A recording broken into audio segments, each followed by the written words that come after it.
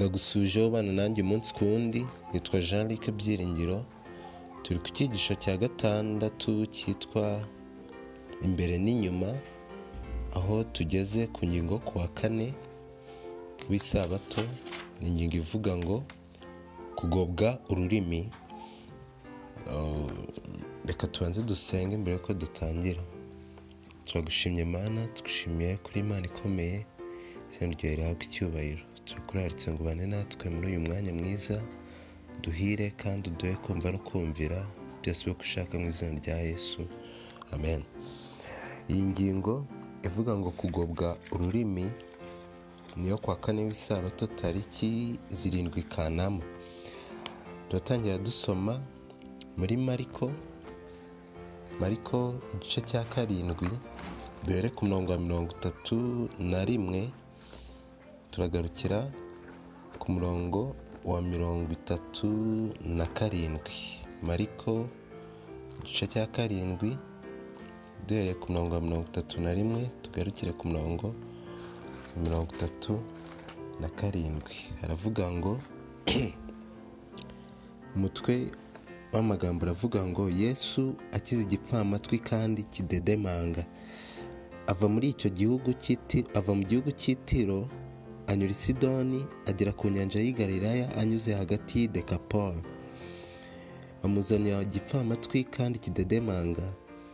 Baramwinginga ngo agishyireho ikiganza. Agikura mu bantu aracyihererana agishyira intoki mu matwi acira amacandwe agikora ku rurimi. Arararama areba mu ijoro asuhuza umutima arakibwira ati efata bisobanurwa ngo zibuka. Amatwi ye arazibuka n'intananya y'ururimi rwe irahambuka avuga neza. Arabihanangiriza ngo batagira uwo babibwira ariko uko yarushagaho kubihanangiriza ni nako barushagaho kumwamamaza rwose. Baratangara cyane bikabije baravuga bati byose abikoze neza azibura ibipfamatwi kandi akavugisha ibiragi. Muri iki gice tubonyemo Yesu akora igitangaza cyo gukiza wari ufite ubumuga bwo kutavuga no kutumva. Babajije ikibazo ngo ninde wazaniwe Yesu? N'uwari ufite ubwo bumuga nyine? Ngo kandi n'icyo yamukoreye tubonye ko cyamukoreye nta kindi yaramukijije binyuze mu bikorwa yakoze. Hano baravuze munsi ngo yesu niyanyuze iy'ubusamu agaruka i Galilaya avuye i tiro n'i sidoni. Tubonye ko yanyuze mu nzira zitandukanye asa nk'uzenguruka. Bano barakomeje bavuga ngo ngo rwa rugendo ruzenguruka abigishwa bagiriyemo amahirwe yo kumarana nawe igihe cy'inyongera cyo kwigishwa nawe. Twagiye tubona ko yesu nta kintu yakoraga kidafite impamvu. Byarashoboka ko yesu anyuriye ubusamu agahita agaruka i Galilaya. Ariko yahisemo kuzenguruka kugira ngo agire umwanya amarana n'abigishwa be baganira ku ijambo rye kubera ko aho bajyaga hose basangaga abantu. Bigatuma batabona umwanya nabo bo kwihererana nawe ngo basangire ijambo ry'imana. Yesu yaporofise uyu mwanya akagahe ni uko ngo bagenda bigisha. Isomo nirivuga neza bazaniye yesu uwo muntu wari ufite ubwo bumuga bwo kutumva no kutavuga. Ngo ariko ikibazo cye ngo cyarumvikanaga neza. Ntabwo yashoboraga kumva akaba yari afite n'ikibazo cyo kutavuga.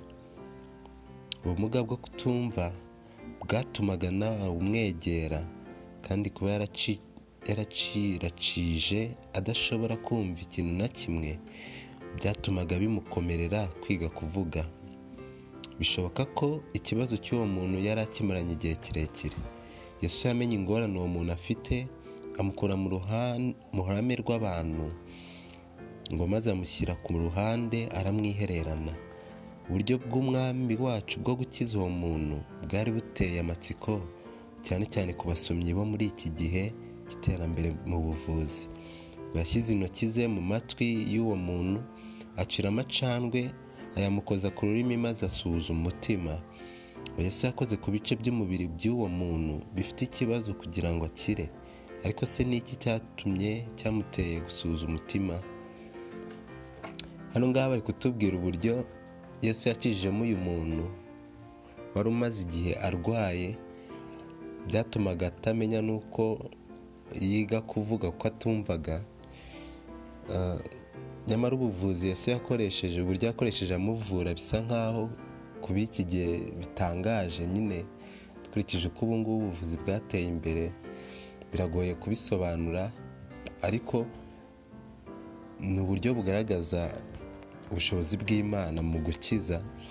Hano baravuze ngo ni ukuki yesu ni ukuki ngo yesu arimo aramuvura byamuteye gusuhuza umutima? Ni iki cyamuteye gusuhuza umutima ese ni n'iki cyatumye amukura mu bantu akamushyira ku ruhande ibi byose ni ibibazo dushobora kwibaza kandi tugasubizwa mu buryo bw'umwuka bw'ibyanditswe byera hano batubwiye ko icyateye isi gusuhuza umutima G. White igitabo cyitwa wifuzwa ibihe byose paje magana atatu na cumi n'umunani mu ngero ya bibiri na cumi n'umunani yavuze ko icyateye isi gusuhuza umutima ngo yasuje umutima ubwo yatekerezaga iby'amatwi yanze kumva ukuri ndetse n'indimi zanze guhamya iby'umucunguzi. Yesu akimara kubona uyu uyu muntu wari ufite ikibazo cyo kutumva no kutavuga ngo yasuje umutima bitewe n'uko yari atekereje abantu benshi bafite ubushobozi bwo kumva ariko bakaba batumvira ukuri kw'ijambo ry'imana. Ndetse n'abafite ubushobozi bwo kuvuga ariko bakaba badahamya iby'umucunguzi. Byatumye Yesu asuza umutima arababara. Abona uburyo hari abifuza kuvuga nyamara hari abafite ubushobozi bwo kuvuga nkanjye nawe ariko tudashobora guhamya Yesu. Tukaba dufite ubushobozi bwo kumva ariko twaranze kumva ijambo ry'imana ngo duhinduke. Ibi biri mu byatumye Yesu asuhuza umutima. Ngo mu buryo bw'igitangaza Yesu yakijije uwari ufite ubumuga bwo kutumva no kutavuga abasha kumva no kuvuga. Gusuza umutima kwe kwa kugaragaza aho ubushobozi yahawe n'imana bugarukira ku birebana n'umudendezo wo guhitamo w'ikiremwamuntu. Ntawe yagombaga gushyiraho agahato. Abantu bose bafite umudendezo bafite umudendezo wo guhitamo uwo bagomba gukurikira. Umutware w'umucyo cyangwa umutware w'umwijima. Yesu yashoboye kuzibura amatwi arumva ariko ntabwo yagombaga guhatira imitima y'abatamwizera kumwemera nka mesiya. Iyo nkuru inagaragaza icyo imana ishobora gukorera abafite ubushake bwo kuyigarukira. Ahari waba warigeze ugingimiranya kuba wahamya kwizera kwawe? Ugasa nkaho wifashe mu byo wagombaga kuvuga.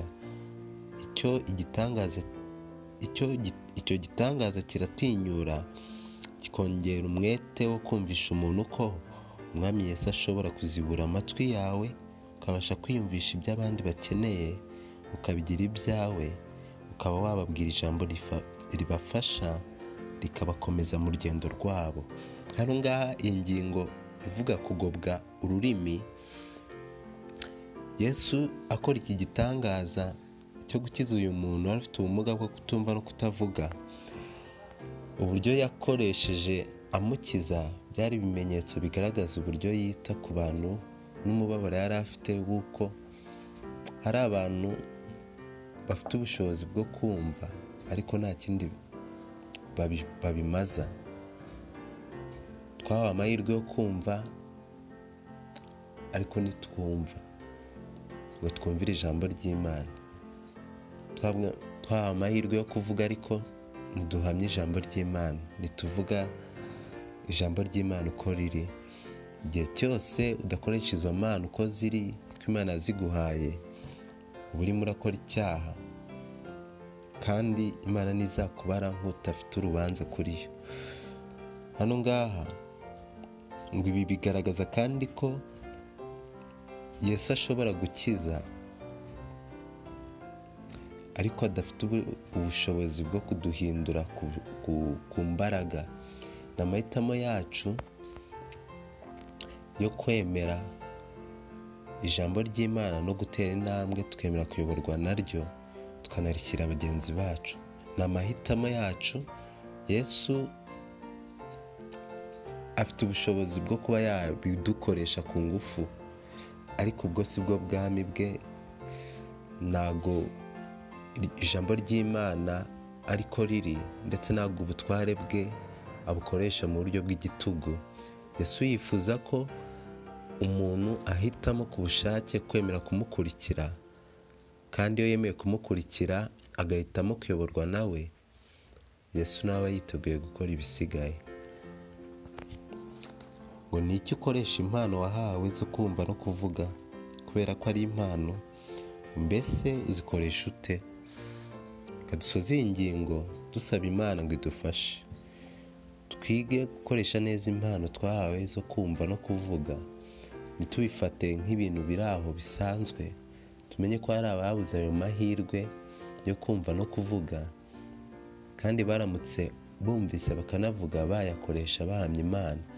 Ntigishinja kuri twebwe bishobokera. Reka dusabe imana idushoboze kumva neza. No guhamya neza uwo twamenye. Imana y'amahoro ibeze kandi bane namwe mu izina rya yesu. Amen.